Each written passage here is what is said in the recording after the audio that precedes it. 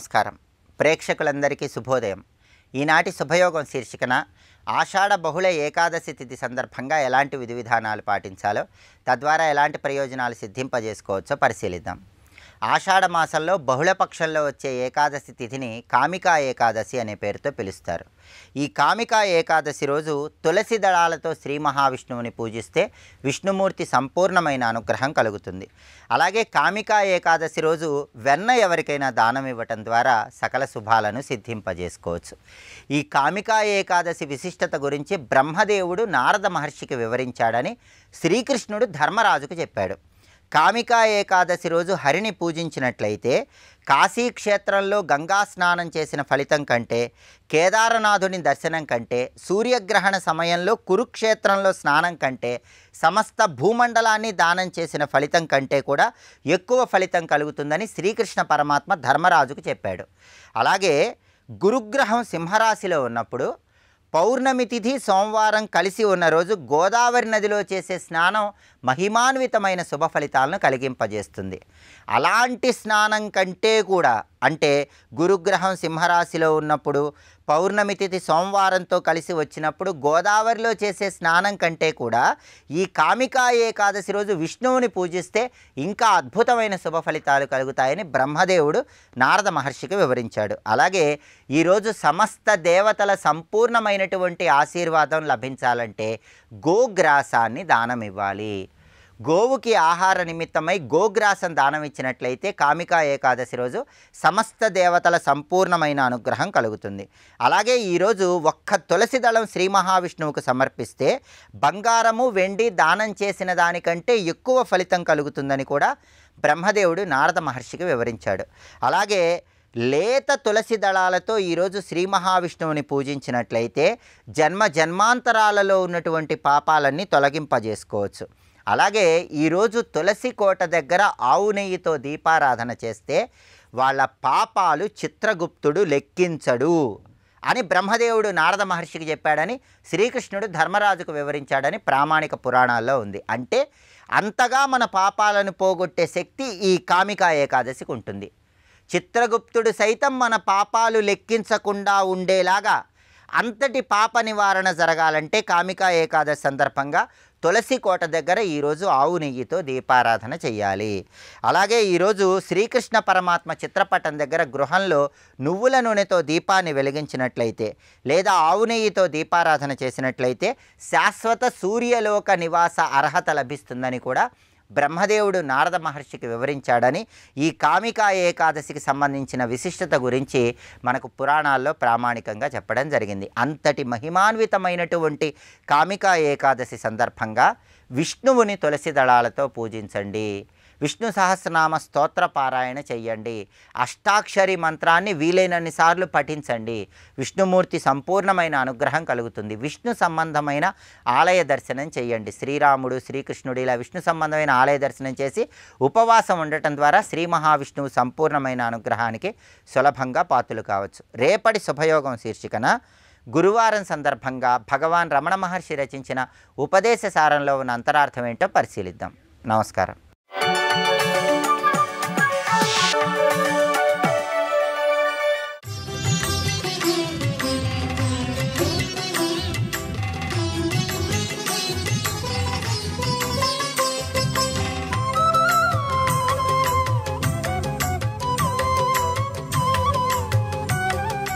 శ్రీహరి చేసిన పని ఏమిటి అంటే ఆ పరమేశ్వరుని కూర్చోబెట్టి అమ్మవారిని తెమ్మని లక్ష్మీదేవికి సైగ చేశాడు.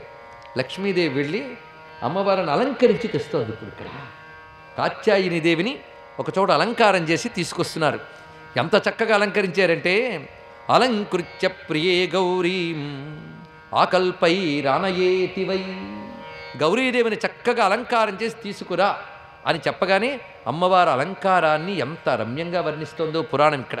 సింజన్మణి మంజీర రంజిత చరణాంభోజ కాంచనమయ కాంచీబద్ధ కటీతటి ముక్తామయ కంచుక సహిత ఉత్తుంగ పయోధర రత్తాంగుళీయకాలంకృత కరాంగుళి ಕುರುವಿಂದಮಣಿ ಖಚಿತ ಕಟಕ ಭಾಸುರ ಕರಯುಗಳ ನಾಗಮಾಣಿಕ್ಯ ಪ್ರೋತ ಮುಕ್ತಾಹಾರ ಶೋಭಿತ ಕಂಠಸೀಮಾ ಮಾರ್ತಾಂಡ ಮಂಡಲಾಕಾರ ಮಣಿಕುಂಡಲ ಮಂಡಿತ ಕರ್ಣಯುಗಳ ನಾಸಾಮುಕ್ತಾಮಣಿ ವ್ಯಾಜ ಸೇವಮಾನ ತಾರಾಗಣ ಭ್ರಾಜಮಾನ ವದನಚಂದ್ರ ಸೀಮಂತ ಸೀಮಾಂತ ವಿರಾಜ ಧ್ವಜ್ರಿಲಲಂತಿಕಾ విరాజద్వజ్రిలలంతిక పార్శ్వ విలసన్మంగళ మణిధామ నితంబ బింబ లంబి సుగంధి కుసుమ రంజిత వేణీధర సౌదామని సదృశ సువర్ణ చిత్రిత పీతాంబరధారిణి కస్తూరీ కర్పూరమిశ్రిత శ్రీగంధ చర్చిత దేహ మల్లికా చంపకోత్పలమాలాజాల పరిష్కృత ప్రవాళోపహిత కుంద కుసుమ విభాసుర సోణాధరోదర గతస్మిత శోభిత నవయవ్వనాంగీ కామాక్షి.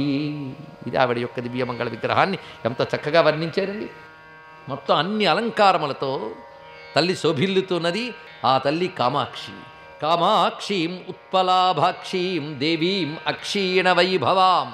శ్రీమదేకామ్రనాథస్య పార్శ్వే సవ్యే నివేశ్యతాం. పరమేశ్వరుడు పెళ్ళి కొడుకుగా ఉన్నటువంటి ఆ చోట అమ్మవారిని తీసుకొచ్చి కూర్చోబెట్టారు. అప్పుడు నారాయణుని యొక్క మాటను అనుసరించి లక్ష్మీదేవి ఒక బంగారు పాత్రలో రమ్యమైన కామధేనువుల పాలు నింపి అందులో దివ్యమైన ఔషధులు వేసి పట్టుకు వచ్చింది. బంగారు పళ్ళెరంలో శివుడి పాదములు పెట్టాడు. అప్పుడు లక్ష్మీదేవి ఆ కలశములో ఉన్న క్షీరముల్ని ఒలకబోస్తూ ఉంటే ఆ క్షీరములతో శివుడి కాళ్ళు కడుగుతున్నాడు నారాయణుడు. ఎంత రమ్యమైనటువంటి దృశ్యం ఇది. కాళ్ళు కడిగి కన్యాదానం చేయాలి కదా. పాలతో కడిగాడండి ఆ దివ్యమైన పాదాలని పాల రంగుతో ఉన్న పాదాలని పాలతో కడుగుతున్నాడు. ఆ కడిగిన తర్వాత ఆ పళ్ళెంలో పాలు తీసి మళ్ళీ పళ్ళెంలో దివ్యమైనటువంటి జలములతో స్వామివారి పాదములు కలిగి ఆ పైన శ్రీరాజ్యైరమయా ముక్తై సువర్ణకరకాగ్రత పాదౌ ప్రక్షాళ్య దేవస్య భక్త్యా పరమయా హరి స్వీయ పీతాంబరగ్రేణ మృదు సమృజ్య పాణినా సువర్ణకరకాల్లక్ష్మ్యా ముక్తాధారాంబునా సహ. శ్రీమదేకామ్రనాథాయ కామాక్షీం ప్రదదౌ హరి. ఆ కాళ్ళు కడిగిన తర్వాత మరొక పళ్ళెంలో కాళ్ళని పెట్టి తాను ఉత్తరీయముగా వేసుకున్న పట్టు వస్త్రపు కొనని చాలా మెత్తగా అద్దుతూ పాదాలు తుడిచాడు. ఆ తుడుస్తూ ఆనందపడిపోతున్నాడు నారాయణుడు. ఆ తర్వాత ఆ పాదముల్ని చందనముతో కుంకుమతో అక్షతలతో పూలతో పూజ చేసి ఆడ తర్వాత అమ్మవారిని కూర్చోపెట్టి అమ్మవారి చేతిని పట్టుకుని శివుడి చేతిలో పెట్టి లక్ష్మీదేవి ధార పోస్తూ ఉంటే కన్యాధార పోసేది నారాయణుడు. సరిగ్గా మీరు కొన్ని కళ్యాణ మండపాల్లో చూస్తూ ఉన్నప్పుడు ఈ దృశ్యం చూడవచ్చు. శివుడు అమ్మవారు వారికి కన్యాదానం చేసి విష్ణువు కనబడుతూ ఉంటాడు. అది ఎక్కడిదా అని కొంతమంది అడుగుతుంటారు. అది కాంచీపురంలో జరిగిన కామాక్షి ఏకాంబరేశ్వర కళ్యాణ గాథ అండి ఇది తెలుసుకోవాల్సింది. అక్కడ దివ్యమైనటువంటి కళ్యాణ ఘట్టం. చూసారా? ఆనాడు ఏనాడు కళ్యాణంతో కాకుండా అగత్య మహర్షి ముచ్చలు తీరుస్తూ ఆయనతో పాటు ఉన్న దేవతలకి ఋషులకి అందరికీ కూడా ఆనందం కలిగించాడు ఇక్కడ. ఒక్కడు కోరిక ఎందరికి ఆనందం కలిగించిందో చూసారా లేదా? అప్పుడు పార్వతీ పరమేశ్వరులు కానుకలు ఇస్తున్నారు అందరూ కూడాను. మరి పెళ్ళయ్యే కానుకలు ఇవ్వాలి కదండి వధూవరులకి? ఈ నిత్య నూతన వధూవరులైనటువంటి కళ్యాణ శివపార్వతులకు ఇస్తున్నవి. అత్యద్భుతమైనవి ఇస్తున్నారు ఇక్కడ.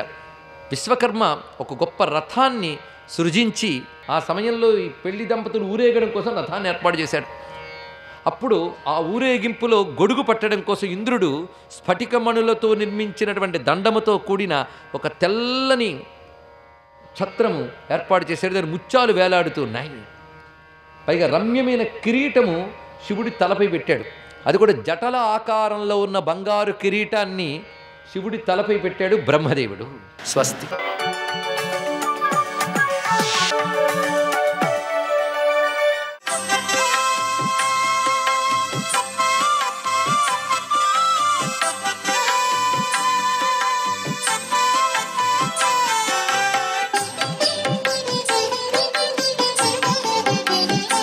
ఓం నమ శివాయ ఓం నమో నారాయణాయ శ్రీమాత్రే నమ.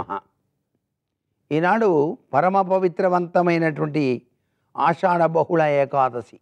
ఏకాదశి అనగానే అందరికీ గుర్తుకొచ్చేది ఉపవాసం విష్ణుదేవుని ఆరాధన. కానీ ఈనాడు ఈ ఆషాఢ మాసంలో ఏకాదశి తిదినాడు సాయం సంధ్యా సమయంలో తప్పనిసరిగా శివదర్శనం చేసుకోవాలి. శివుని గనక ఈరోజు గనక ప్రదోషకాలంలో దర్శనం చేసుకున్నట్లయితే చాలా అద్భుతవంతమైనటువంటి ప్రభావం అదృష్టం కలుగుతుంది. పరమేశ్వర దర్శనం ప్రదోష సమయం. ఎందుకనంటే ప్రదోష సమయంలోనే కైలాసంలో పరమేశ్వరుడు పార్వతితో కూడి ఆనంద నాట్య తాండవం చేస్తాడు. ఆ ఆనంద నాట్య తాండవంలో బ్రహ్మ విష్ణు సకల ముక్కోడి దేవతలు కూడాను ఆ నాట్యాన్ని తొలగించడానికి వెళ్తారు.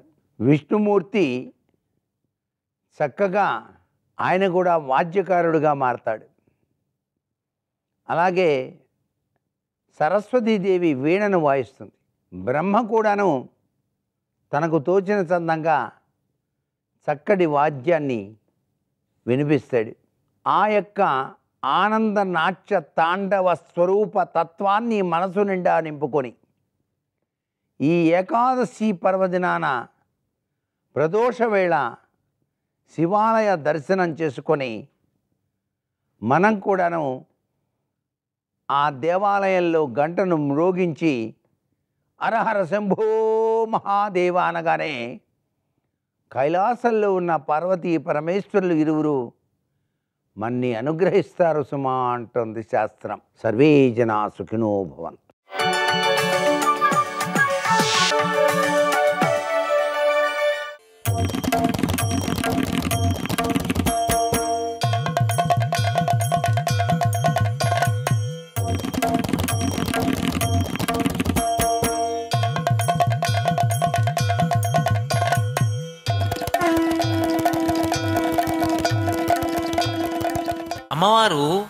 తనకి పరమ ముద్దు బిడ్డ అయినటువంటి వారిని ఎవరినో దగ్గరికి తీసుకుని దేవాలయం యొక్క పాలక మండలి అధ్యక్ష పదవిలో కూర్చోపెడుతుంటుందేమో అని నాకు అనిపించింది.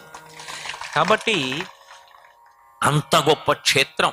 శంకర భగవత్పాదులు శ్రీశైలాన్ని వర్ణిస్తూ సంధ్యారంభ విజృంభితం శృతిశిరస్థానాంతరాధిష్ఠితం సప్రేమ భ్రమరాభిరామమసకృత్సద్వాసనాశోభితం భోగీంద్రాభరణం సమస్త సుమన పూజ్యం గుణావిష్కృతం సేవే శ్రీగిరి మల్లికార్జున మహాలింగం శివాలింగితం అంటారు. శివ అంటే అమ్మవారు. అమ్మవారి చేత గట్టిగా ఆలింగనం చేసుకోబడినటువంటి పరమశివుడు ఎలా ఉంటాడో అలా ఆ అర్జున వృక్షాన్ని మల్లెతీగ అల్లుకుని ఉంటుంది శ్రీశైలంలో. ఒకప్పుడు శంకర భగవత్పాదులు అలా దర్శనం చేశారు. అదే అర్జున వృక్షం ఇప్పటికీ ఉంది శ్రీశైలంలో. అలా ఇక్కడ కూడా ఆ మద్ది చెట్టులోంచే వేరొక చెట్టు పుట్టింది. ఆ చెట్టు ఈ మద్ది చెట్టుని కౌగిలించుకుంది. మద్ది చెట్టుని ఆ చెట్టు కౌగిలించుకుంది. సరిపోలేదన్నట్టు అమ్మవారు బహుప్రీతి చెంది స్వామి పాదసేవ చెయ్యాలనుకుంటోందా అన్నట్లుగా నింబ వృక్షంగా వ్యక్తమైంది. నింబ అన్నది ఎక్కడ ఉన్న నింబ అంటే వేప చెట్టు. వేప చెట్టు ఎక్కడ ఉన్నా కూడా అది అమ్మవారి స్వరూపంగానే చెప్తారు శాస్త్రంలో. అటువంటి వేప చెట్టుగా వచ్చింది ఆ పక్కన. వచ్చి కొద్ది కాలం అయిన తర్వాత వాళ్ళిద్దరూ చెయ్యి చెయ్యి పట్టుకుని ప్రదోష వేళలో ఆకాశంలో నడిస్తే ఎలా ఉంటుందో అలా ఆ చెట్టు కొమ్మలు ఈ చెట్టు కొమ్మలు కరచాలనం చేసుకుని దూరం నుంచి చూసిన వాళ్ళకి పార్వతీ పరమేశ్వరులు నడిచి వెడుతున్నట్లుగా గోచరమవుతుంది.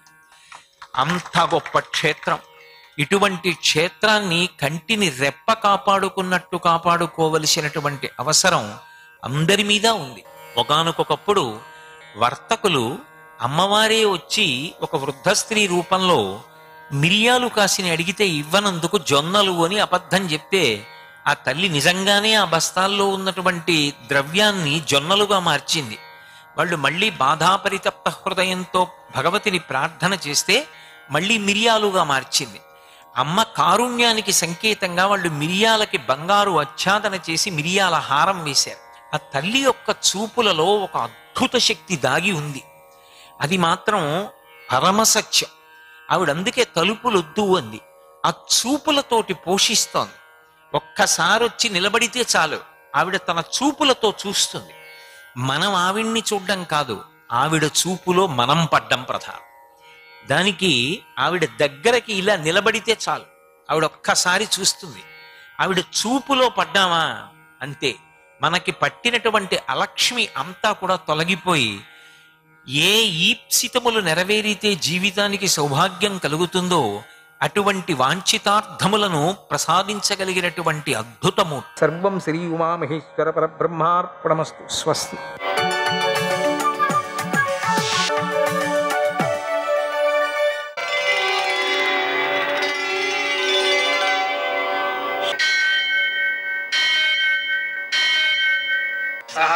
सहस्रशीरुषं देवं विश्वाक्षं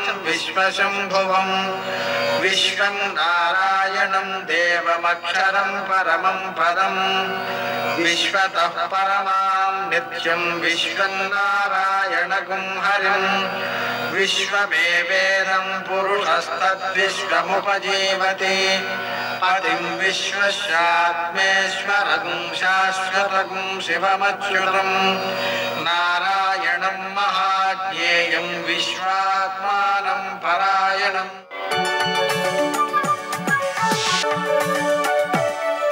सूर्यशौर्यमथेन्दुरिन्द्रपदवी सन्मङ्गलं मङ्गलम्। ఆపదామపహర్తారం దాతారం సర్వసంపదాం లోకాభిరామం శ్రీరామం మోక్షదంతం నమామ్యహం. నేటి కాలమాన విశేషాలను గమనిద్దాం. స్వస్తి శ్రీ చాంద్రమాన క్రోధినామ సంవత్సరం దక్షిణాయనం గ్రీష్మ ఋతువు ఆషాఢమాసం కృష్ణపక్షం బుధవారం. సూర్యోదయం ఐదు గంటల యాభై తొమ్మిది నిమిషాలకు సూర్యాస్తమయం ఆరు గంటల నలభై ఆరు నిమిషాలకు. తిథి ఏకాదశి మధ్యాహ్నం మూడు గంటల యాభై ఎనిమిది నిమిషాల వరకు నక్షత్రం రోహిణి ఉదయం పది గంటల పదమూడు నిమిషాల వరకు వర్జం మధ్యాహ్నం మూడు గంటల యాభై రెండు నిమిషాల నుంచి ఐదు గంటల ఇరవై తొమ్మిది నిమిషాల వరకు దుర్ముహూర్తం ఉదయం పదకొండు గంటల యాభై ఏడు నిమిషాల నుంచి మధ్యాహ్నం పన్నెండు గంటల నలభై ఎనిమిది నిమిషాల వరకు అమృతకాలం ఉదయం ఏడు గంటల మూడు నిమిషాల నుంచి ఎనిమిది గంటల ముప్పై ఎనిమిది నిమిషాల వరకు మరలా అమృతకాలం రాత్రి ఒంటి గంట ముప్పై మూడు నిమిషాల నుంచి మూడు గంటల తొమ్మిది నిమిషాల వరకు రాహుకాలం బుధవారం కాబట్టి మధ్యాహ్నం పన్నెండు నుంచి ఒకటిన్నర వరకు అష్టకవర్గ రీత్యా శుభప్రదమైన సమయం ఉదయం ఏడు గంటలకి. నేటి విశేషం ఏకాదశి. సర్వేషాం కామద ఏకాదశి. అలాగనే పవిత్ర ఏకాదశి కూడా. ఈరోజు ఏకాదశి ఉపవాసం ఉండడం ద్వారా వాజపేయ యాగం చేసినటువంటి ఫలితం సిద్ధిస్తుంది. ఉపవాస దీక్షలో ఒకసారి ఫలహారం చేయడం రెండుసార్లు పానీయాలు స్వీకరించడం రాత్రంతా జాగారం చేయడం రోజంతా భగవన్నామస్మరణ చేయడం ముఖ్య విశేషాలు. బుధవారం కాబట్టి రామాయణంలో మొదటి సర్గ దాన్ని సంక్షేప రామాయణం అంటారు. ఇది పారాయణ చేసుకోవడం పిల్లల చేత పారాయణ చేయించడం చాలా మంచిది. వారిలో సద్బుద్ధులు ఏర్పడతాయి.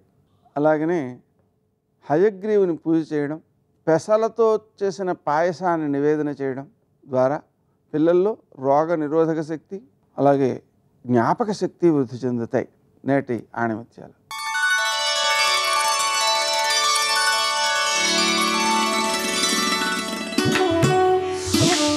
అనుకున్నది సాధించాలంటే అనుక్షణం శ్రమించాలి.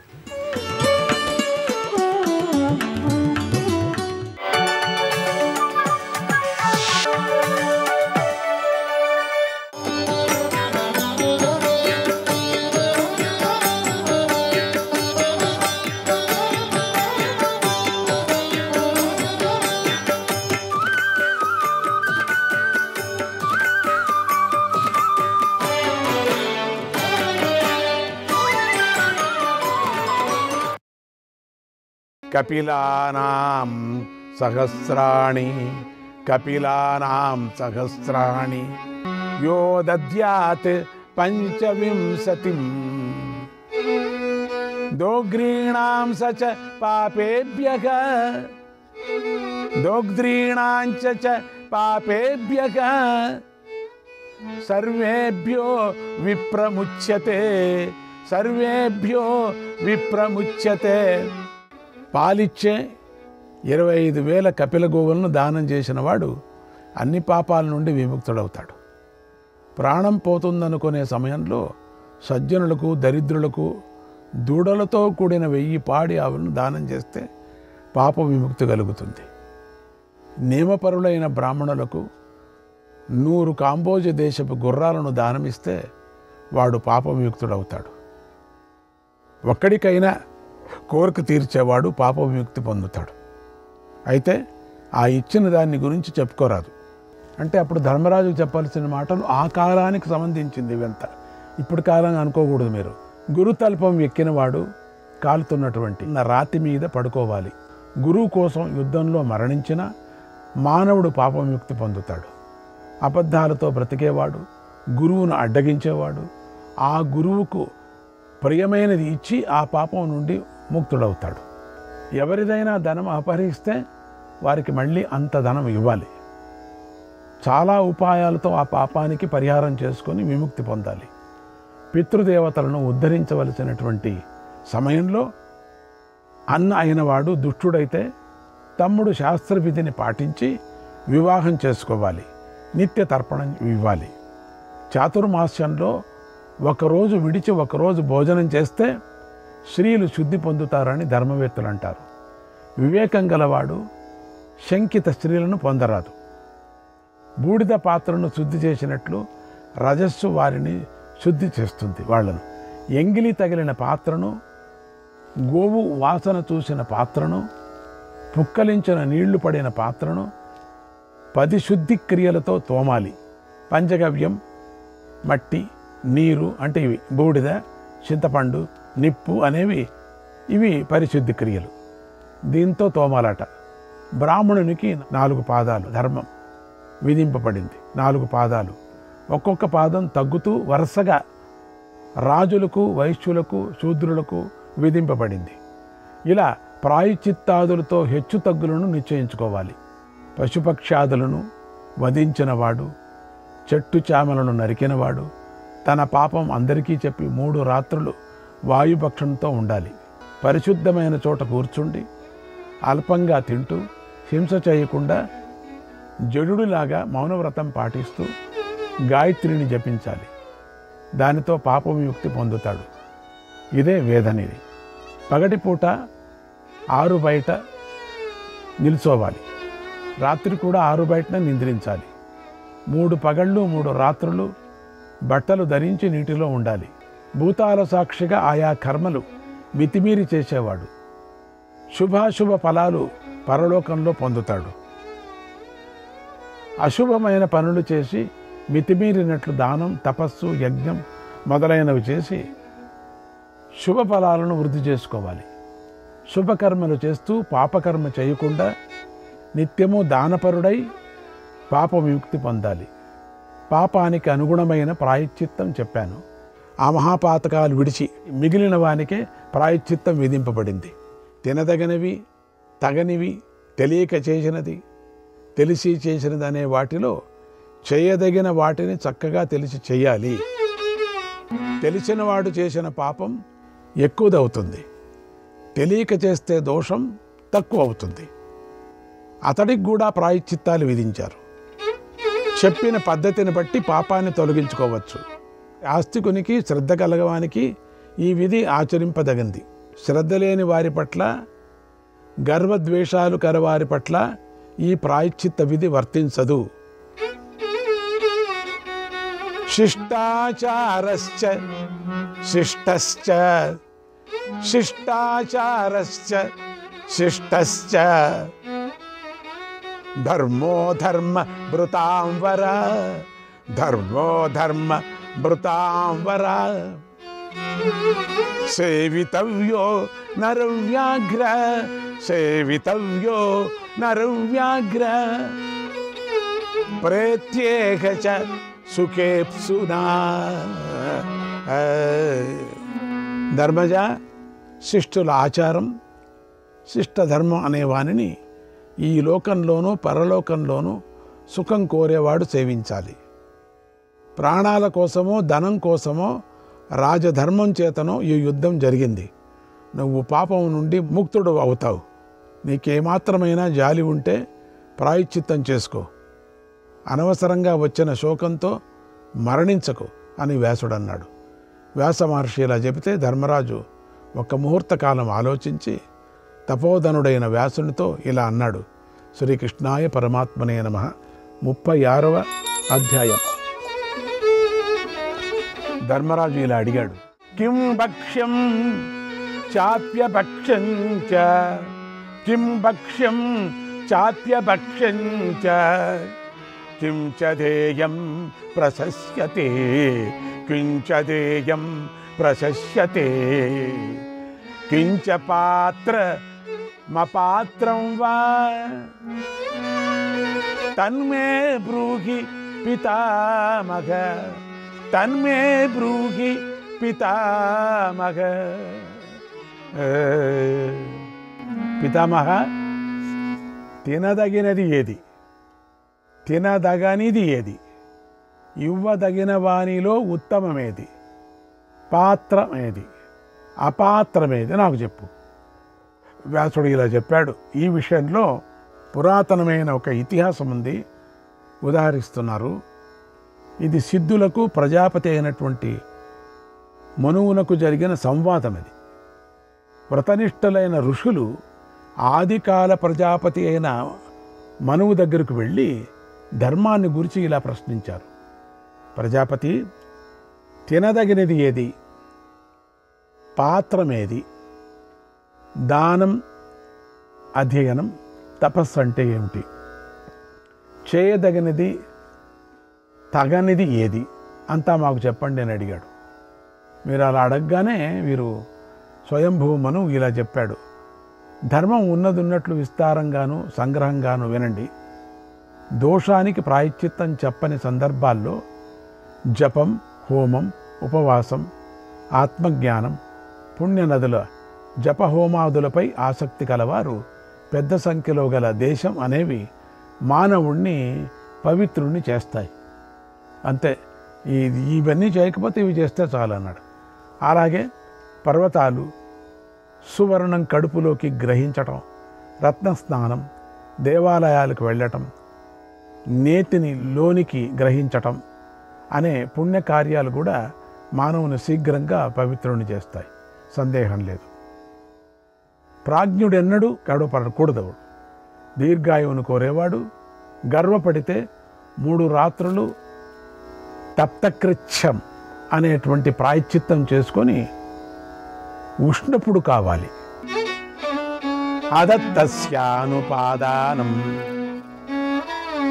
దానమధ్యయనం తపగ దానమధ్యయనం తపగ అహింసా సత్యమక్రోధగ అహింసా సత్యమక్రోధగ ఇజ్యాధర్మస్య లక్షణం. ఇజ్యాధర్మస్య లక్షణం. ఇవ్వని దానిని తీసుకోకుండా ఉండటం. దానం అధ్యయనం తపస్సు అహింస సత్యం క్రోధం లేకపోవటం యజ్ఞాలు చేయటం ఇది ధర్మ లక్షణం ఆ ధర్మమే దేశకాలాలను బట్టి అధర్మ కూడా నిలుస్తుంది. దొంగతనం అసత్యం హింస అనేవి అవస్థా విశేషాన్ని బట్టి ధర్మం కూడా అవుతాయి. అప్పుడప్పుడు తెలిసిన వారికి ఈ ధర్మాధర్మాలు రెండు విధాలుగా భావిస్తాయి. లోకంలోనూ వేదంలోనూ ప్రవృత్తి ఉండటం లేకపోవటం అనేవి ఆ రెండు విధాలు. ప్రవృత్తి లేకపోవటం వల్ల దైవత్వం కలుగుతుంది. మర్త్యుడు అవటం అనేది కర్మ యొక్క ఫలం. అశుభ కర్మకు పాప ఫలం శుభకర్మకు పుణ్యఫలం. లోకకర్మలు వేదకర్మలు రెండిటిని అలా శుభాశుభ ఫలాలు ఏర్పడతాయి. దైవ సంబంధమైనది దైవంతో కూడినది ప్రాణ సంబంధమైనది ప్రాణం పోసేది అనే నాలుగు రకాల కర్మను అపేక్షతో చేయటం వలన అశుభాలకు శుభఫలం కలుగుతుంది. పరలోకం ఉందా లేదా అనేది సందేహం. కానీ ఈ లోకంలో ఫలం ప్రత్యక్షంగా కనిపిస్తూనే ఉంది కదా. అటువంటి పనిని ఆసక్తితో చేస్తే ప్రాయచిత్తం చేసుకోవాలి. క్రోధమోహాల వల్ల చేసింది. మనస్సుకు ప్రియం కానీ అప్రియం కానీ చేసేదైన కర్మ విషయంలో శరీరం శుష్కింపచేయటమే ప్రాయచిత్తం కూడా. ఆ పాపం ఔషధాల చేత మంత్రాల చేత ప్రాయశ్చిత్తాల చేత శమిస్తుంది తగిన శిక్ష వేయని రాజు ఒక రాత్రి ఉపవాసం చేయాలి. పురోహితుడైతే ఆత్మశుద్ధి కోసం మూడు రాత్రులు ఉపవాసం చేయాలి. శోకం పోవటానికి ఆయుధాలతో గాయాలు చేసుకొని ఒకవేళ మరణించకపోతే అతడు మూడు రాత్రులు ఉపవసించాలి. జాతి ధర్మాలను ఆశ్రమ ధర్మాలకు జన్మస్థల ధర్మాలను కుల ధర్మాలను విడిచేవారికి వారికి ప్రాయశ్చిత్తమే లేదులేండి. వారి దోషం నశింపదు కూడా.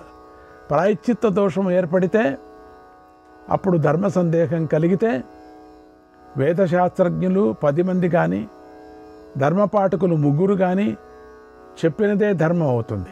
అదే ప్రాయశ్చిత్తం. చాలా కాలం విలువ ఉంచిన పిండి చెరుకు కూరలు పాలు ప్యాల్పిండి అటుకులు పెరుగుతో కలిపిన పిండి వీని పులిసిన పదార్థాలు మనం ఇరవై రోజులు ముప్పై రోజులు రెండు నెలలది ఉపయోగించరాదు. దైవ నివేదనకు కాకుండా వృథాగా చేసిన ఆ అప్పాలు వీటిని గృహస్థులైన బ్రాహ్మణులు బ్రాహ్మణులు తాగరాదు తినరాదు కూడా. గృహస్థుడు దేవతలను ఋషులను మనుష్యులను పితృదేవతలను గృహదేవతలను పూజించి తర్వాత తాను పూజించాలి గృహస్థు సన్యసించిన వానిలాగా తన ఇంటిలో ఉండాలి. ఇటువంటి ప్రవర్తనతో భార్యతో కలిసి నివసిస్తూ ధర్మం పొందాలి. కీర్తి కోసం కానీ భయం వల్ల కానీ దానం చేయరాదు.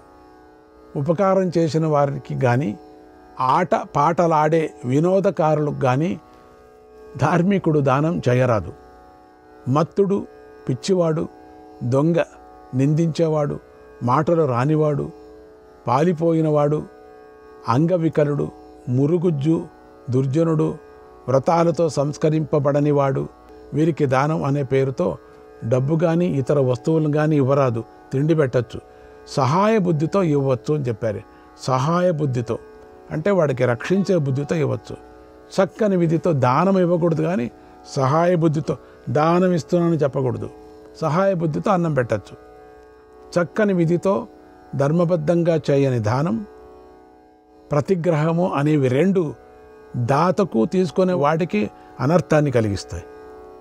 చండ్రకర్రనో రాతినో మునిగిపోయే మరొకరినో పట్టుకొని సముద్రం దాటుతున్న వానిలాగా ఆ ఇచ్చేవాడు తీసుకునేవాడు కూడా మునిగిపోతారు. కాష్టైరార్ద్రైర్ యథావక్ని. కాష్టైరార్ద్రైర్ యథావక్ని.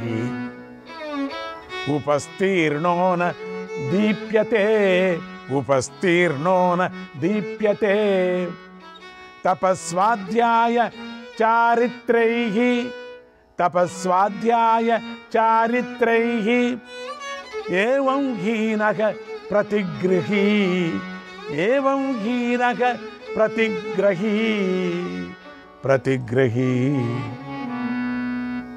తడికట్టలకు అంటించిన నిప్పు మండనట్లు తపస్సు వేదాధ్యయనం శీలం లేక దానం పుచ్చుకునేవాడు రాణించడు.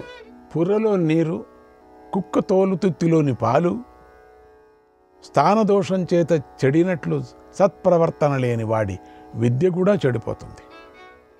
వేదమంత్రాలు రాకపోయినా వేద మార్గం నుండి తప్పుకున్నా శాస్త్రజ్ఞానం లేకపోయినా అసూయ లేని వానికి హీనుడికి వ్రతాలు చేయని వాడికి దయతో దానం చేయవచ్చును. దయతో ఏమో పాపం ఇంక గతి లేదు కదా అని. ఇతరులకు అపకారం చేసేవాడు దీనుడైనా సరే వాడికి దయతో దానం చేయరాదు. చూడు వాడికి మాత్రం చేయకూడదు.